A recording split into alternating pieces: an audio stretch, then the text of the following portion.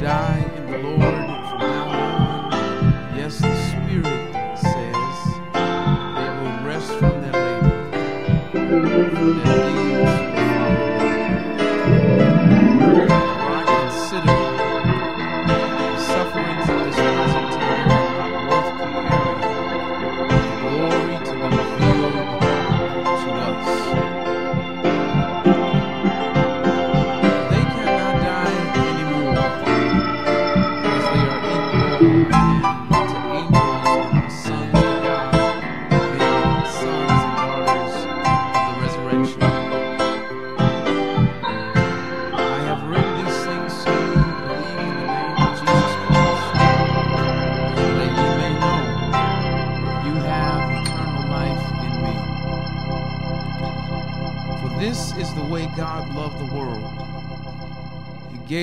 his only Son, so that everyone who believes in him will not perish but have eternal life.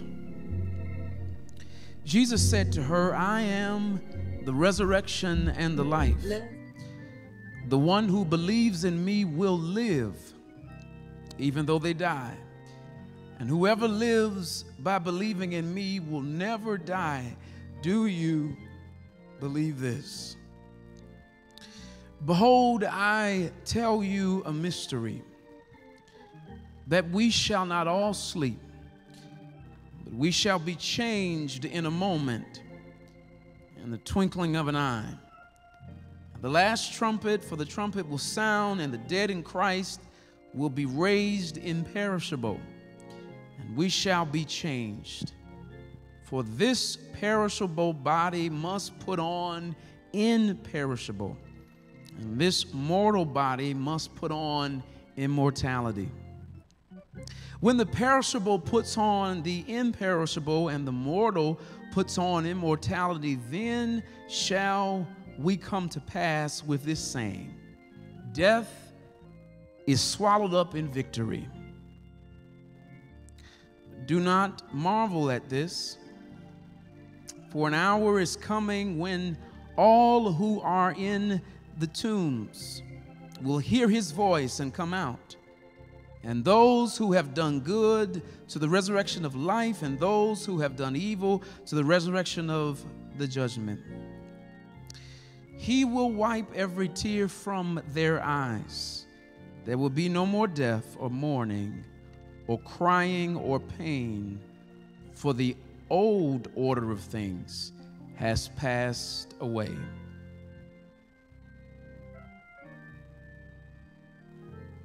Do not let your hearts be troubled. You believe in God, believe also in me. For in my Father's house are many mansions. If I go away and prepare a place there, you may be also. Amen. You may be seated.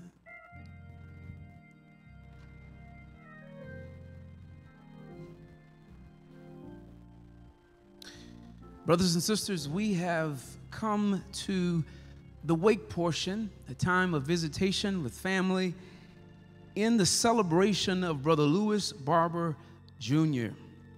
And so, this is an opportunity for you to visit with the family. It's an opportunity for you to share words of comfort and words of encouragement and just presence of encouragement. And at 10:30 we will begin the celebration of Brother Lewis Barber. Amen.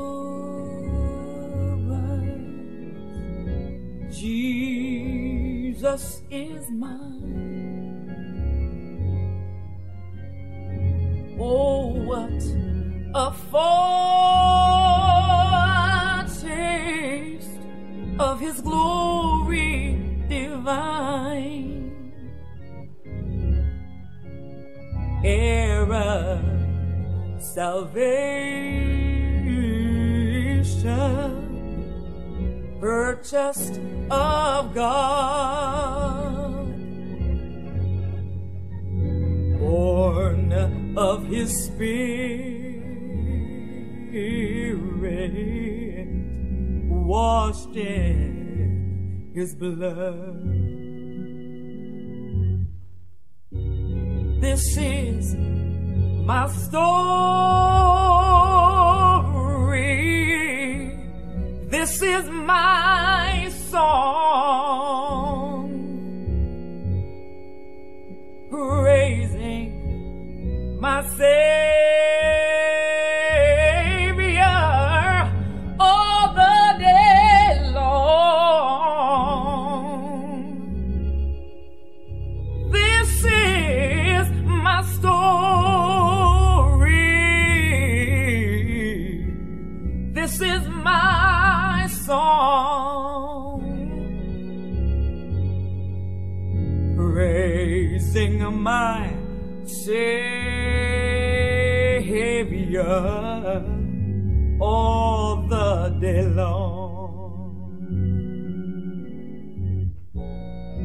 This is my story.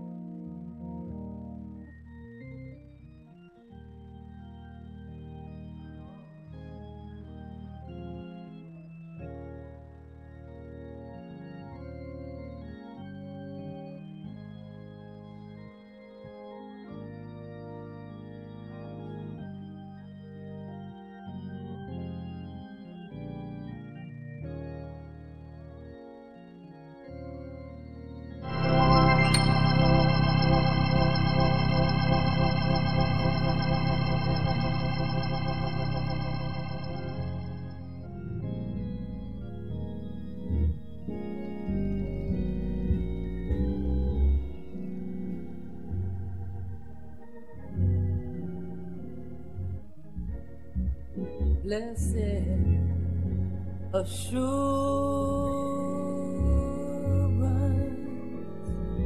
Jesus is mine.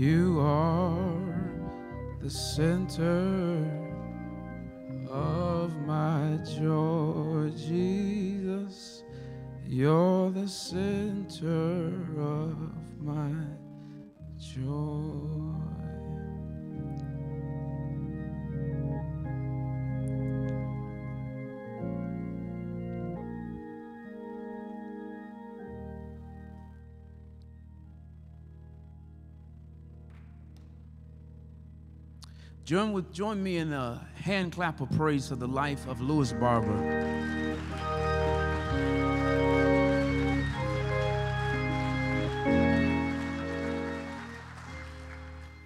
Today we've showed up here today. You all have showed up here today because Teddy, as you call him, touched your heart in a different way. And so today we are here to celebrate him. He has made an impact on all of your lives. For you to be here on this Friday morning at 10:30. So why don't we take some time to just celebrate his life? Come on, just celebrate his life in whatever way you would like to. Celebrate his life. Come on, celebrate his life. Come on, celebrate his life. Come on.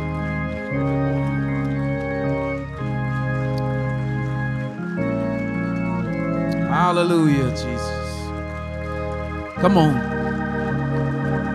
Hallelujah. Hallelujah. Hallelujah. Amen. Amen. Amen. To see a father, a husband, a black man who was an example to so many and an encouragement to so many go home to be with the Lord, that is something to celebrate today. And so today we've come to celebrate. Have y'all come to celebrate? Have y'all just come to sit? Uh, what did you come to do? Have you come to celebrate? Have you come to spectate? I hope you've come to celebrate because today is a celebration. Amen. I guess we got more spectators though. I said, today is a celebration. Today is a celebration. It's already hard to be a black man in America, and we have a black man who had, was a father, a husband, and an, a great example in American society. And if anybody ought to celebrate, that ought to be us, right? Oh, Lord. All right, we have an order of service that we've come to follow, and really excited about this order of service because we have some really great things that are happening today. The family has put together for us. We're going to have a prayer by Reverend George Curry. We'll have a selection um, by Miss, Mrs. Ruth Price Rollins. And then we have a scripture reading by Deacon Harland Booth. And then our resolutions will be read. And I'll come back after that.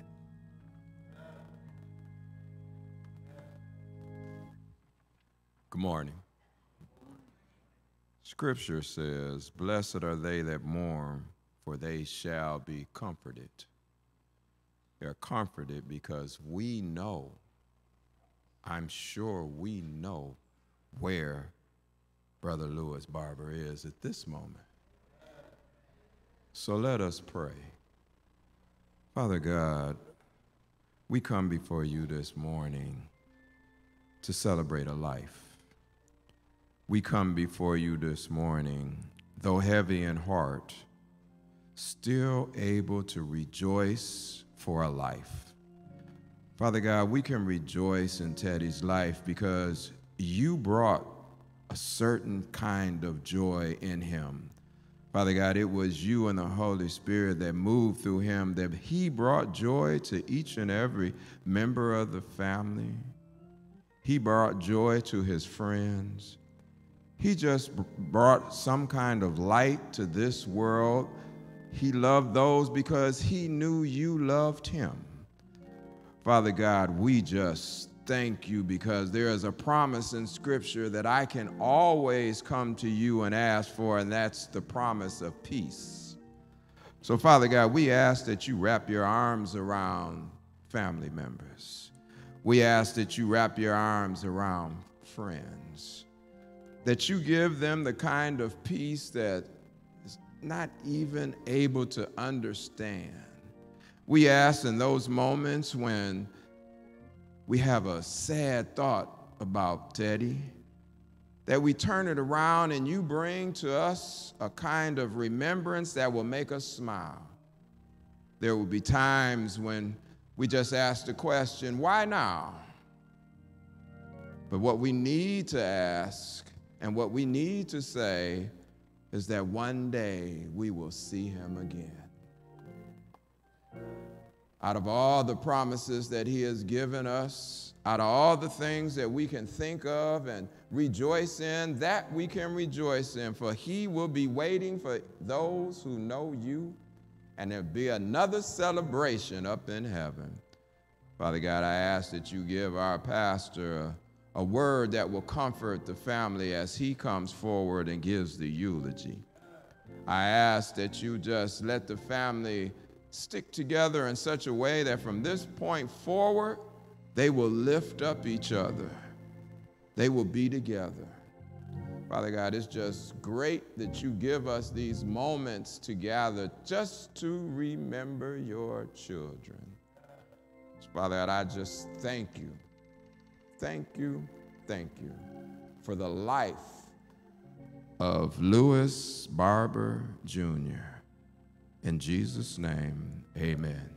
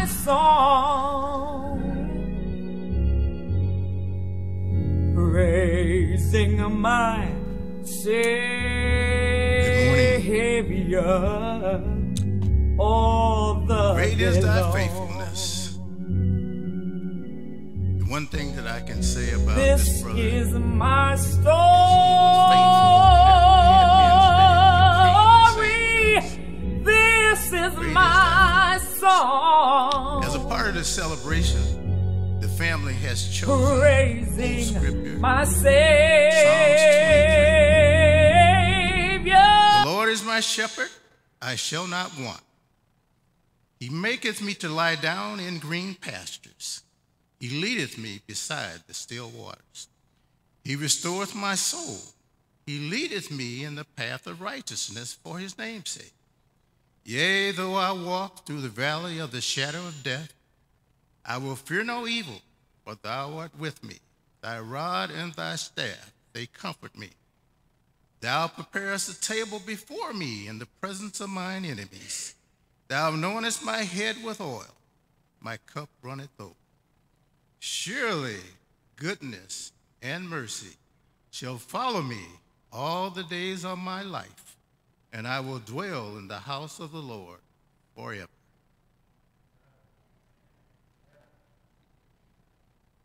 They've also chosen uh, New Testament scripture. 1 Thessalonians chapter 4, verses 13 through 18. And it reads as follows But I would not have you to be ignorant, brethren, concerning them which are asleep, that ye sorrow not, even as others which have no hope. For if we believe that Jesus died and rose again, even so, them also which sleep in Jesus will God bring with him. For this we say unto you by the word of the Lord, that we which are alive and remain until the coming of the Lord shall not prevent them which are asleep. For the Lord himself shall descend from heaven with a shout, with the voice of the archangel, and with the trump of God and the dead in Christ shall rise first. Then we which are alive and remain shall be caught up together with him in the clouds to meet the Lord in the air, and so shall we ever be with the Lord. Wherefore, comfort one another with these words. This is the word of the Lord. We pray that these scriptures are comforting to the family.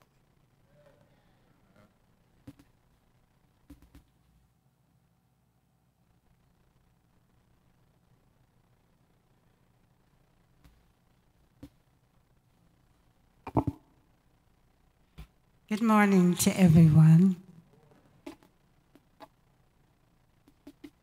This resolution is from the East Mount Zion Baptist Church. And the members, if you're able, will you stand?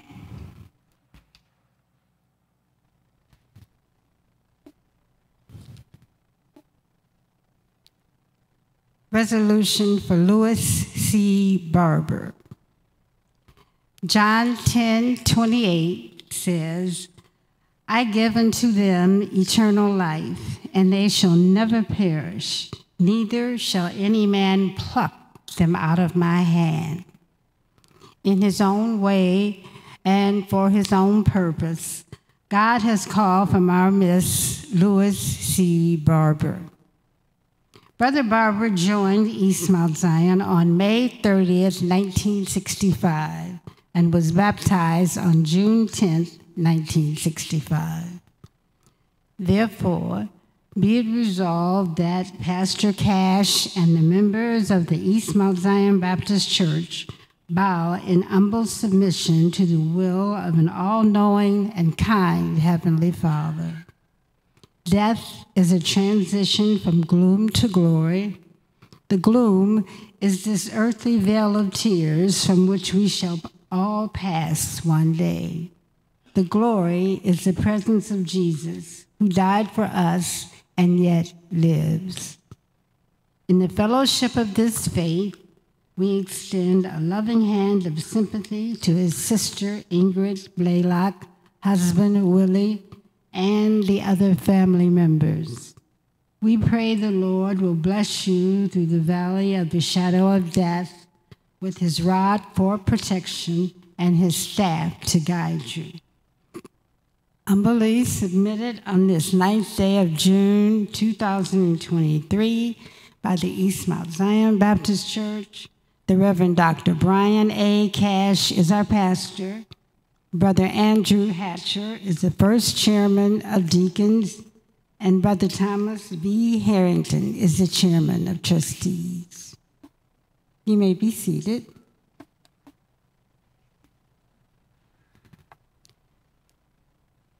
The family of Teddy Barber appreciates the time you devoted to them, time of, to their time of bereavement. Whether you simply thought about them, called, visit with them, brought food, gave other gifts, prayed for them, or personally attended. They sincerely thank you.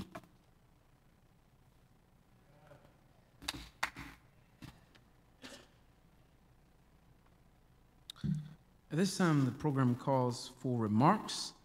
Um, Brother Al Drummer, Brother Peter Lawson Jones, Miss Robin Blalock Appia. Did I say that right? Appia. I like that. Did I say right, Appia? All right, great. So um, I'm going to ask that each of you do two minutes. Is that okay? Oh, man, thank you so much. You come right over here. And then those who will follow, I'm going to ask if you would just come on up and sit right on this front bench. And in that order.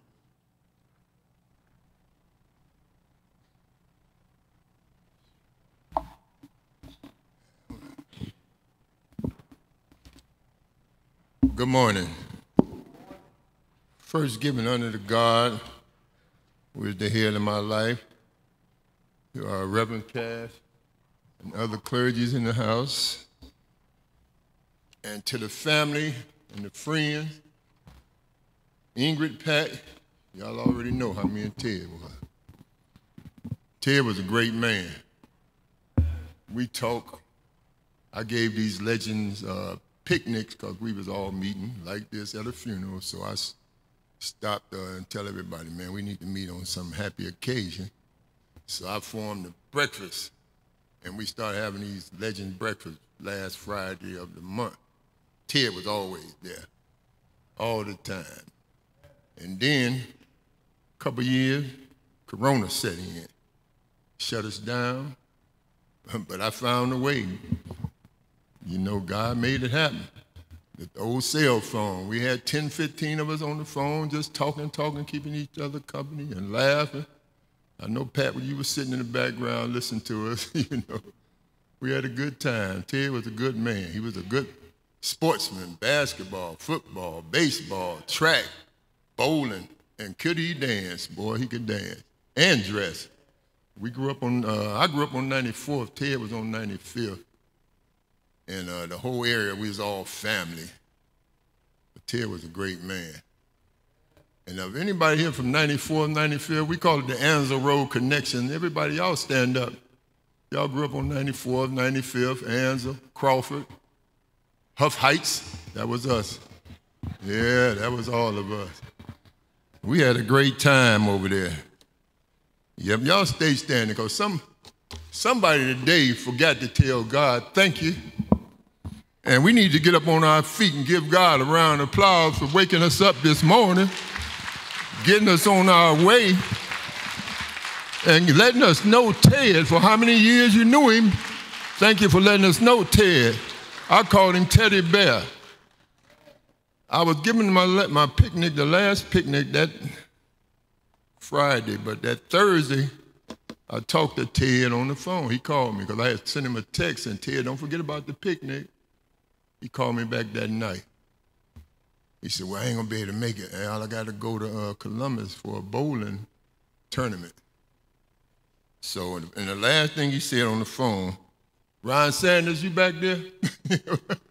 Ron Sanders, he said, because him and Ron, we all friends on the phone going at it about who ran 95th Street. Ted was a senior man, so he told Ronnie he had to pay a fee to live on 95th. so, so Ron was telling Ted, man, you owe me money. I'm the young man now. But Ted, the last thing he said to me, he said, Al, get my money from Ronnie. That's what he said. That's what he said, man. Oh man, Ted, we had fun, man. We had fun. Uh, I had wrote some stuff down, but I can't read it. but you know, as I viewed Ted's body today, I seen a little tattoo in there. Didn't know he had it. It said, "Return to sender." So God brought him here, and God brought took him back. Let's give Ted a round of applause. He did his job. And I would, I would rather stand with God and be judged by the world than to stand with the world and be judged by God. Family, I love y'all. And y'all already know Ted was a good man. We're going to miss him, but I know he probably wouldn't want to come back. Once he got up there, he with all his family, his old buddy Scooter and Bub and Butch and Will Willingham, they, oh man, hand dancing kings. so I just want to say, I love y'all. God bless you. And peace.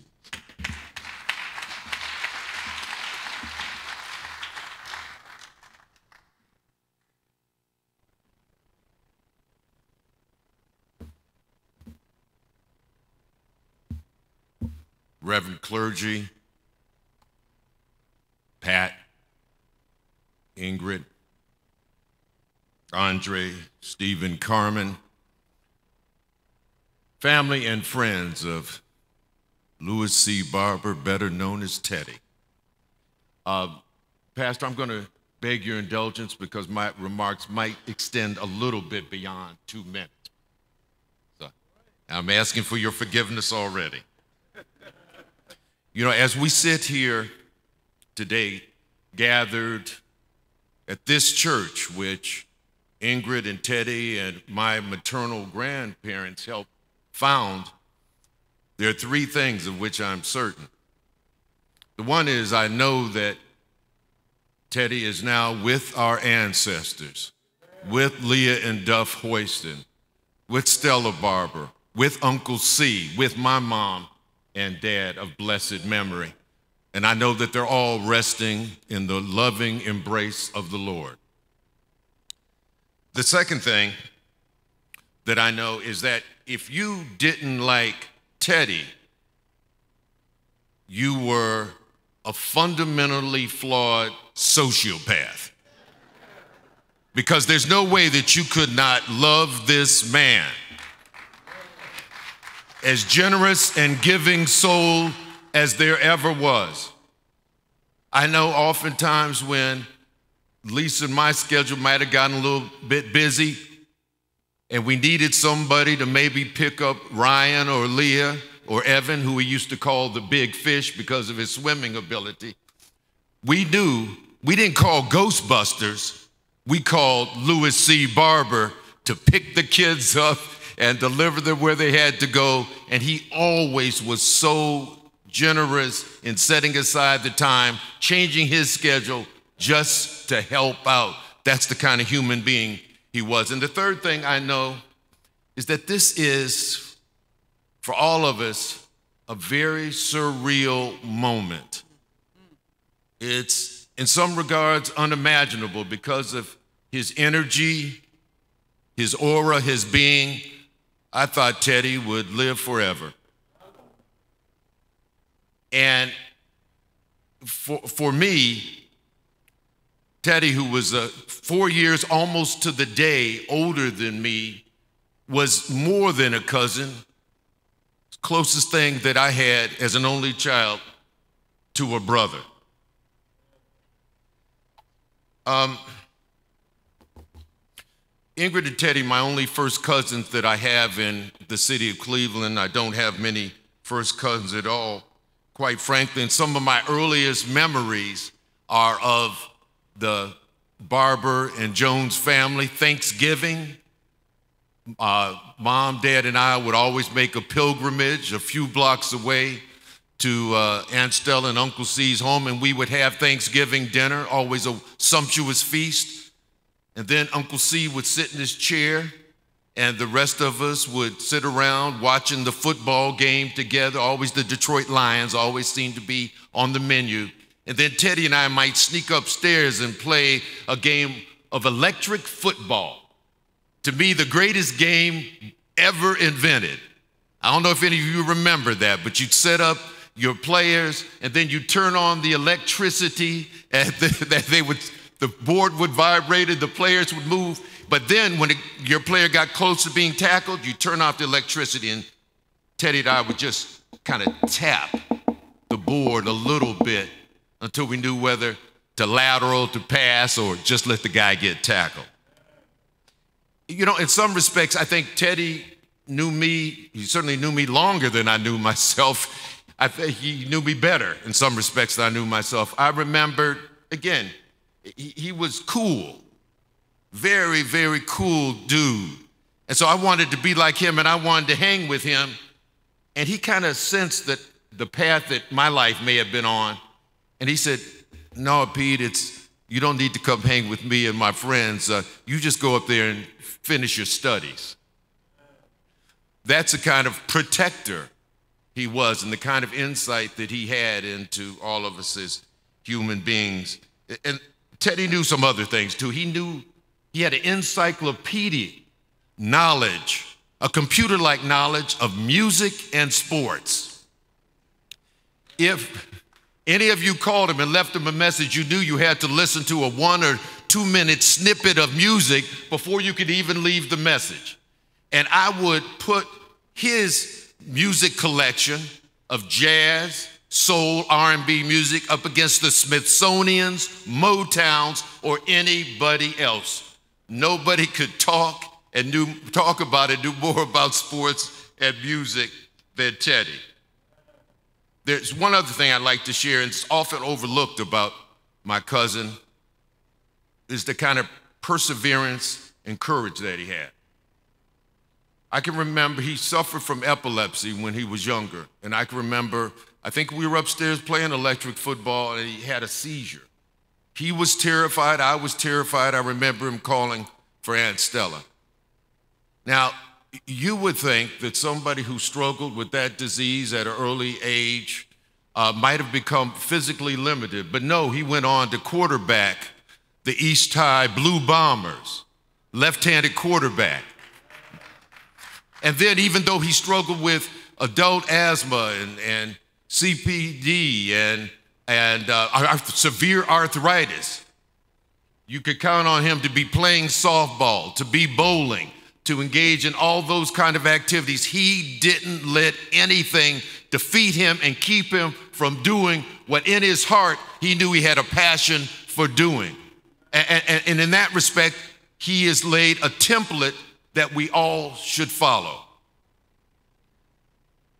Well, because I'm going to miss our conversations. I'm, i think the last time I heard from him, uh, my wife and I were out of the country, and he just called to see how we were doing and if we were enjoying ourselves. You know, I will uh, certainly miss watching Ingrid and him dance because that was art and living art to watch them so I always envied and wish I could dance like that. They were just so smooth. So that picture will be forever ingrained in my mind of the two of them, brother and sister, the hand dance king and queen of Cleveland. But the other thing I will miss is our little birthday routine that he and I had. His birthday was December 21st, and I would call him and wish him a happy birthday. And then on December 23rd, he would call me, often beating my wife and my kids to the task to wish me a happy birthday.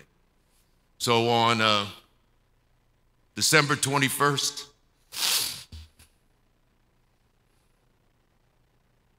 this year and every year, I'm going to pull out my phone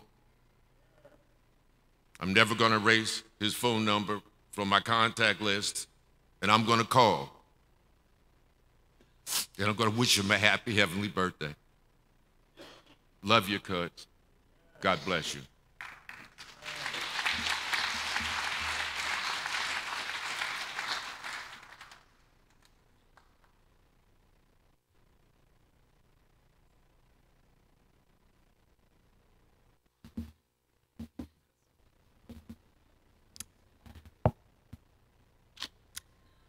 Okay, hello everyone. Um, just want to put it out there. Me following Peter Lawson Jones is a setup. Okay, just let you know. my name is Robin. These are my brothers, William, Michael, and Peter, and we are the nieces and nephew of Teddy. So um, we did write a little something down here to share with you all. We wanted to, um, we wanted to take this moment. You okay? Okay. We wanted to take this moment to tell the world what an awesome uncle Teddy was. He was wonderful to myself, my brothers, his children, unforgettable. He was a wonderful role model in our lives for as long as I can remember, always embracing us and giving us unconditional love. As a child, we have incredible fun memories of how Teddy would pick us up and take us to do various activities. Various activities. One of the most memorable um, activities that stands out to me is when he would take us to the arcade room. He would give us about $2. Back then, there were quarter things. It felt like a bucket of money to us. We would play all day, have a lot of fun, get out of our houses like these kids now that stay in their room playing games. But we got out and we just loved life. As we grew into be teenagers and started to drive, just wanted to get out there and drive that car and having nowhere to go, we wind up being at Teddy's house. and inevitably he out there throwing those steaks on the grill and that chicken on the grill, and he would always welcome us into his house with open arms. Steve, Carmen, Jackie, and everybody. We had a great time.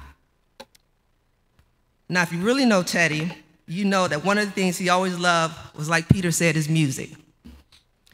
Over the years, I can recall, um, I can recall when he would visit me in DC, and I would come home, he would always introduce, introduce me to new artists and new songs that he had just recently discovered. During one of Teddy's visits to DC, because I live in DC, one, one of his visits to DC, he stumbled across his old school record store called the Roadhouse, not too far from my house. From that point, it became a must go to spot every time Teddy came to visit. And then after that, it came into a must stop that I had to make on my way home to drive to pick up some albums or records that he had pulled aside for me to bring home to him. I would complain to my mom, like, why I gotta stop here and get these records? He's like, get those records for my brother. But inevitably, it was great because I would come back to DC with a CD that he made for me, special for me, that I would drive all the way back and jam all the way home. So as we all became adults, and I think they can bear witness to this, what we learned was this unconditional love between Teddy and our mothers, Miss Ingrid. Their sibling bond, it was like what we used to call the superpower they had. Wherever you saw one, the other was never too far behind. I witnessed first, we all witnessed firsthand how Teddy and my mom embraced and supported each other's families and the friends. For example, whenever I invite my mom, dad, and everybody up for holidays, celebration, or anything like that, I inevitably knew I had to invite Teddy up, wanted to invite Teddy up, and have a space for him. My mom would say, oh, we're not having that. Teddy and family right there too. That love and bond never ended. They were always together. And I would not be remiss not to mention their hand dance skills at all the gatherings. Everybody knew that Teddy and Mom could hand dance like Fred Astaire and Ginger Rogers, but with a lot more soul. Teddy, Teddy, armed with his superpowers, always demonstrated much love, kindness, patience, forgiveness, and happiness to all. Watching Teddy and my mom, I learned, we all learned how to obtain these superpowers, and now we try to be like them. We try to love our friends, each other, keep open and accepting to all our love if they accept it. Uncle Teddy was more than an uncle. He was a role model, a mentor, and a true hero in our lives. His impact will be felt forever. His legacy of love, joy will live in all of our hearts forever. I thank you all. You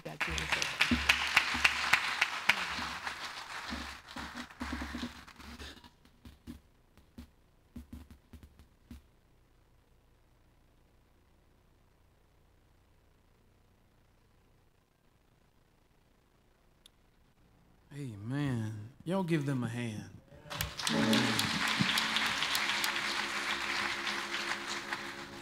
This time we'll have a selection Following that, we will have the obituary read silently and then the eulogy.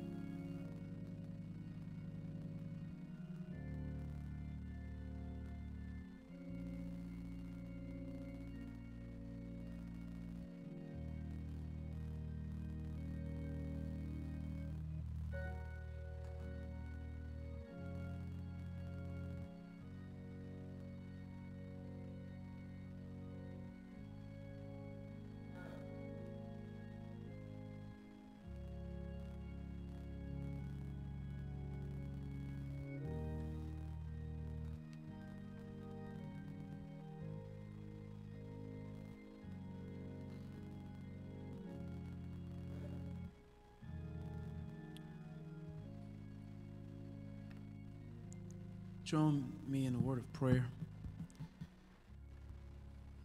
God in heaven, we thank you because, God, you are so awesome. Even in the midst of sadness and sorrow, God, you are still awesome. Because, God, you are sovereign and you are in control. There is nothing that catches you off guard. There is nothing that causes you to be surprised. You are in control. You are so much in control, God, that you know what to give us in moments where we're not in control. In moments of sadness and sorrow and grief. So, right now, Lord, I pray that you would open the eyes of the family to see the comfort and love that only you can provide. You are our refuge and our strength, an ever present help in the time of trouble. So we do not fear, nor do we worry, nor do we have lack of hope like those who do not have hope in you. We trust in you, we believe in you, we have faith in you. Right now, Lord, we pray that you would continue to encourage this waiting congregation and, more importantly, this family, this wife, these children these siblings, this entire congregation to let us experience the love and the joy and the peace that only you can provide. It's in Jesus' name we pray. Amen. Family, I want you to just take a moment to look around. Take a moment to look around at all of the people that have showed up today Lewis was loved. And we give God praise for that. Come on, give the Lord a hand clap of praise for that.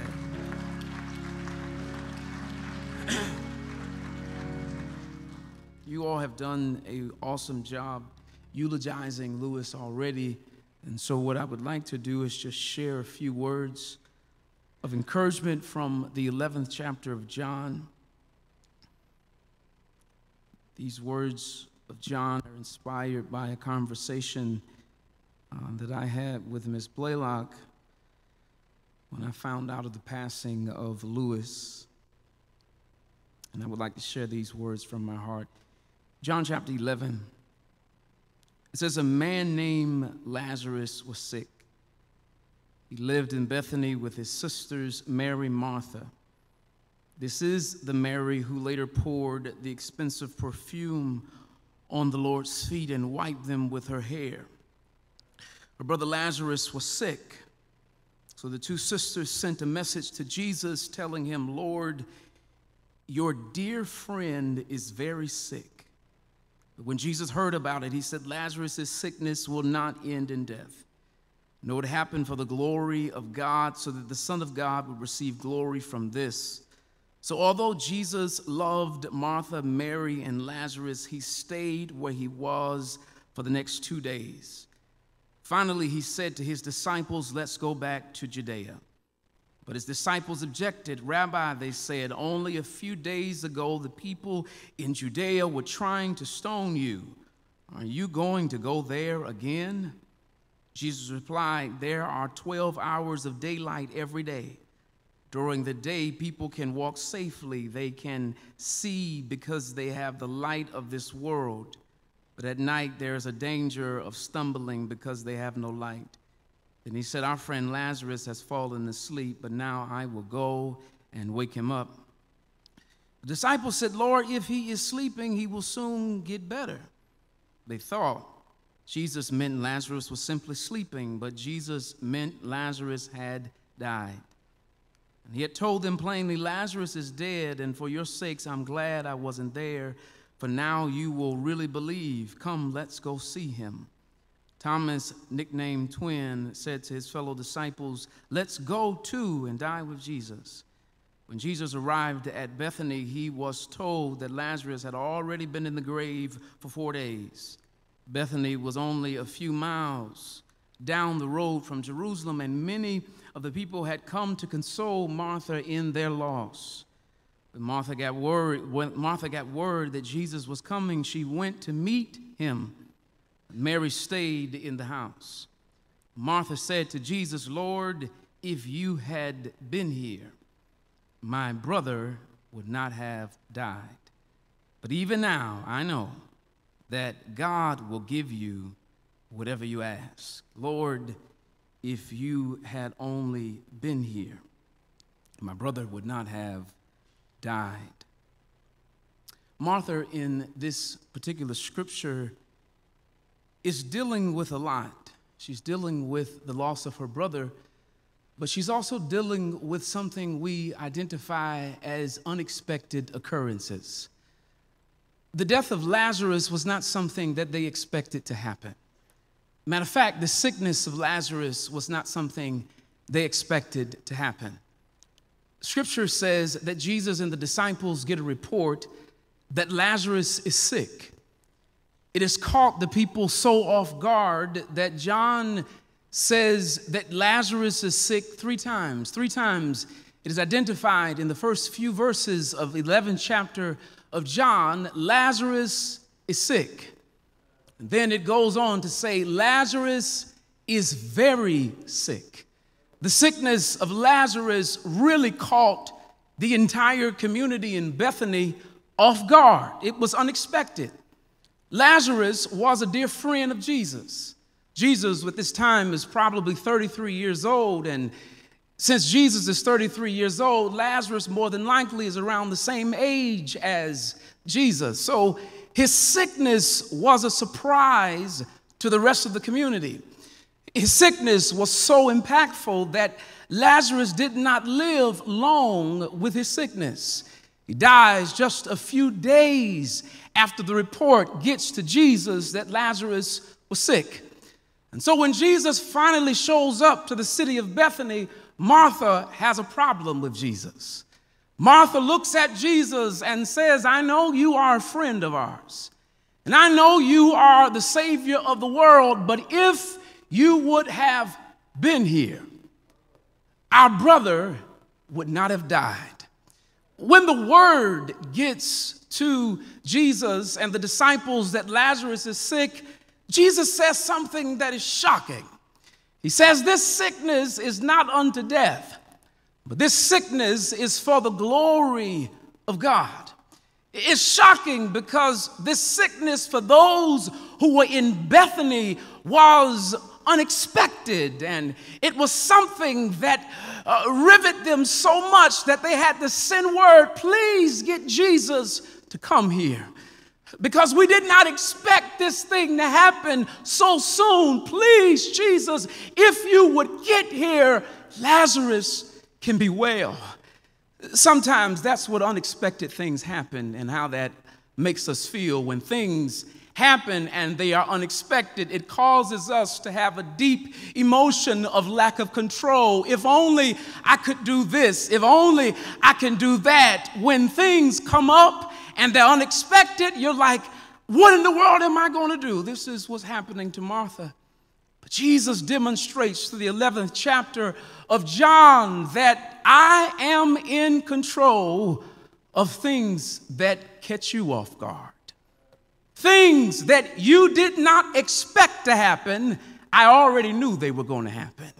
Things that you were alarmed by, things that caught you off guard, I already had a plan for. All of us have had moments where unexpected things showed up and we didn't have an answer for it and we began to worry.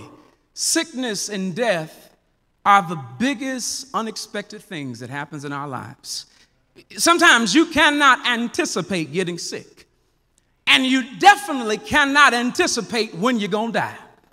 You know death is imminent.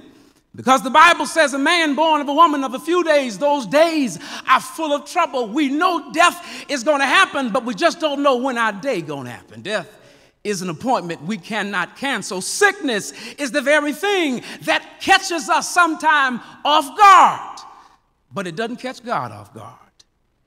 Jesus says this sickness is not on the death because I already knew it was going to happen.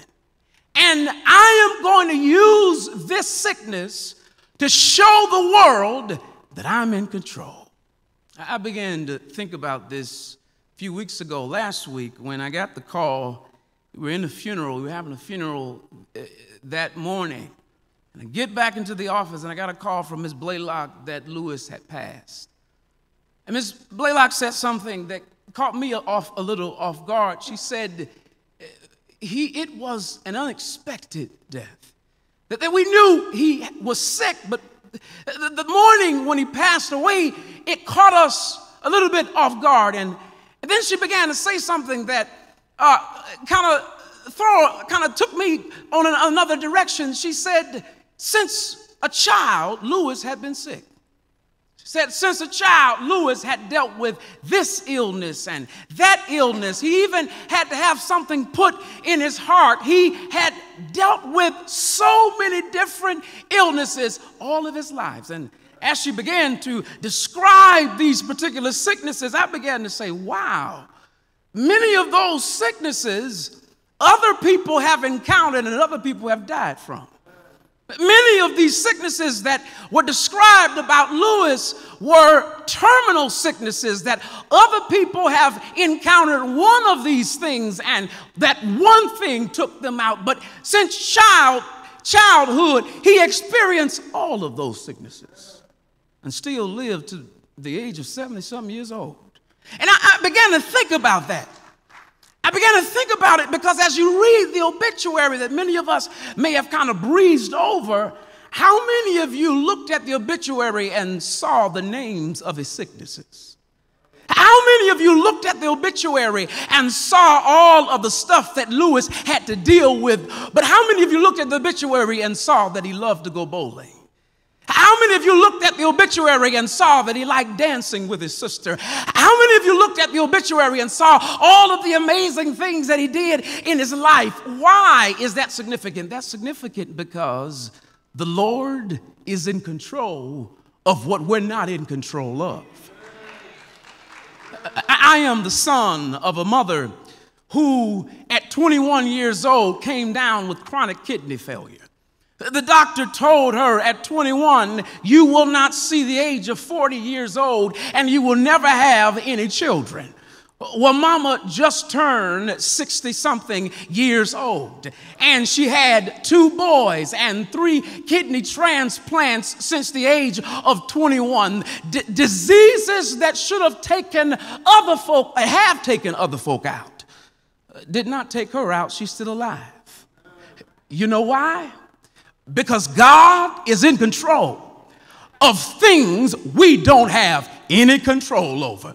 Uh, Jesus shows up, and Martha is wrestling with the death of her brother, and she says, If you would have been here, our brother would not have died. But Martha didn't understand that Jesus did not need to be there to heal him. He, he could have just spoken a word and Lazarus would have been healed at that very moment, but he waited for this opportunity to happen to remind Martha that not only am I a God that heals the sick, but I am also the God of the resurrection. I am in control of everything. And, and I don't know who you are and where you've come from this morning, but I don't know what kind of unexpected things have hit your life life this week or this year, but I've showed up here to remind you God is in control of it all. He's in so much control of it that He uses stuff that catches us off guard to build our faith so the next time something tries to catch you off guard, you look at the something and say, Something you don't have any power over me anymore because the God that delivered me from the past unexpected circumstance is the God that will deliver me in the new unexpected circumstance. And I wonder how many of you have showed up here and believe in affirmation that Lewis and us serve a God that that is in control over stuff we have no control over. But, but notice, scripture says that Jesus says this sickness is not unto death, demonstrating that he's in control of stuff we have no control over. But the God of the universe is so much in control of everything, but so intimate with everybody. Listen to the words of the scripture. If you had been here, our brother would not have died. And Jesus says, Then show me where you laid him. Mary, the other sister, comes out. And when Mary comes out, Mary is the one who washed Jesus' feet with her hair. Mary puts Martha's words on repeat. She said, Now, if you would have been here, I can hear Mary saying it with a little bit more sass. If you would have been here, our brother would not have died. He says, Show me where you laid him. And when they show him where Lazarus is, there are two words my grandma repeats at dinner and breakfast every day Jesus wept. Jesus looks at Mary and Martha and the tomb, and tears come down his eyes. This encouraged me, family, because as great of control as God has of the world in his hands, he is not so much in control of everything that he doesn't have an intimate connection with everybody. He, he sees you when you cry. He sees the pain you're going through, Miss Patricia. He sees you walking through the journey of the valley of the shadow of death, and it appears to be that you're all by yourself. But He shows up and He says, Even when you can't see me, I'm there. And I see you when you cry. I am not this God that just sits high, but I am a God that also walks low. He cries with them. Isn't it amazing? To know that even when I feel disconnected from God, He's still connected with me. And, and, this is a real caveat here because Lewis was baptized in the church in 1960. He was a part of one of the founding families of East Mount Zion. But Lewis, he didn't come to church every Sunday. He would come to church to sing in the choir. But Lewis understood you ain't got to be in church to be connected to a God of the church. And I love this because what I love about God is even when I feel like I'm disconnected from Him, He is never disconnected from me. Martha says, If you would have been here, and when Jesus shows up, he reminds Martha, Martha, even though my physical presence wasn't there, I was always connected with you. That's why Paul says that there is nothing that separates us from the love of God. Not death, not sorrow, not pain, not tribulation, not sickness. Nothing separates us from the love of God. And it does not matter how far you go in the world, God is always connected with us. No matter what pain we go through, He's connected with us. No matter what sorrow and problems we go through, He is connected with us. I, I have a six month old uh, I, I uh, saw the baby's not over there now.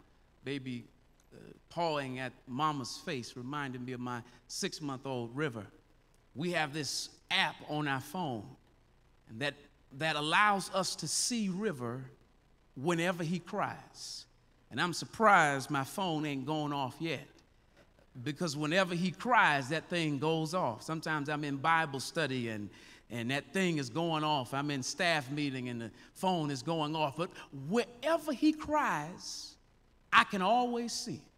Uh, now, uh, uh, Mama, my wife, took him to Atlanta with the grandparents. He's all the way hundreds of miles away in their house in Johns Creek, Georgia. And last night at 2 a.m., my phone went off and I could pick up the phone and see River crying. And the, the difference about me, daddy seeing River crying in Atlanta, I can't do nothing about River crying in Atlanta. I, can try to call my wife and say, honey, what's going on? But I'm still a 100 miles away. I can't touch river. But you know the beautiful thing about God? God don't need no app to see when we cry. All God needs to do is just incline his ear to us. And the beautiful thing about God is when he sees us crying, scripture tells us in Revelation that he then comes down and wipes every tear from our eyes. Uh, family, the days will get long this beautiful aggregation of congregants who have come to support you will eventually file out of this sanctuary. We will leave the cemetery and we will no longer see you every moment and every day. The calls and the cards and all of that stuff will slow down. But the beautiful thing about God is He never disconnects Himself. And even when others leave us, He is always connected to us. Can you celebrate today? Today that we serve a God that is always connected to us. I'm finished. Bible says that Jesus walked over to the tomb and he says, Lazarus, come forth. The beautiful thing about this is that Jesus tells Martha, I am the resurrection, meaning I'm in control over what has control over you. Nobody has ever been able to defeat death besides Jesus Christ. He's in control over death. He walks over to the grave, tells them, roll the stone away, and says, Lazarus, come forth. Amazing thing about God is God has a way of using something that seemingly has control over us and uses it to help us at the end. Death is that uncontrollable thing, but God uses it to transport us from this land to the other land. He, he, uses death, something so difficult to as a transportation system that allows us to leave mortality to immortality. Beautiful thing about death is that when all of us experience death, we will not only leave here to go somewhere, but we will leave here to go to someone. And when we leave here to go to someone, we'll see those who have left on this side. God has a beautiful thing about death that even when we dis- get disconnected from our loved ones, when we experience death, we will see them again. I, am finished, but my, I have, not only have a six month old, but I, I have a crazy one year old husky. Uh, it's a dog, y'all. Huskies are dogs. I got this crazy husky, and uh, if you don't run him three miles a day, he gonna run your house. And I can't have a dog running my house. So one day we took little Noah, uh, he ain't little no more, but we took Noah on a run with myself and one of the ministers. And as we were running, uh, the minister who running with me was ahead of Noah and I.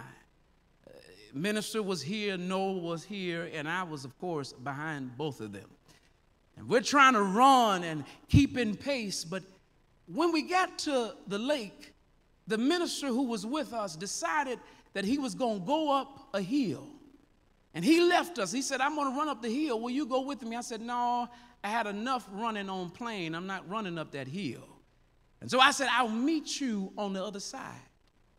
But Noah didn't know that he was going to see the minister who he was tailing for three miles on the other side. So when the minister ran up the stairs, Noah couldn't run anymore because he had been running with this guy for at least three to four miles. And when he left us, Noah got all discombobulated. He looking around, trying to figure out where the minister is. And as soon as we got to the main street, Noah just stopped.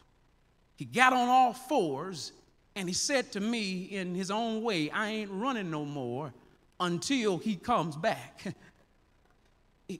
Noah didn't know that although the stairs went up in one direction, these stairs went down in the other direction. And when we stopped, he didn't realize that he was really at the base of where the minister was going to come down. And so when the minister came down the stairs, Noah started wagging his tail and started shaking and jumping because the one who had left him, he finally saw again. Well, the other day, Lewis left us. And although it puts hard and sorrow in our hearts, the good thing about God and death is we don't have to worry like Noah. We don't have to stop running the race like Noah. We can keep on running the race because sooner or later, no later than soon, God is going to crack the sky and the Bible says that the dead in Christ shall rise after the trumpet sounds, and then we will meet him and them in the sky, in the air, and we'll go and live with them eternally. God has a way of using things that seemingly are unexpected. Be encouraged this morning to lead us in the right direction. Lewis, is in the place where he needs to be. Our job now is to continue to run the race until we see him again. Amen. Come on, give the Lord a hand clap of praise.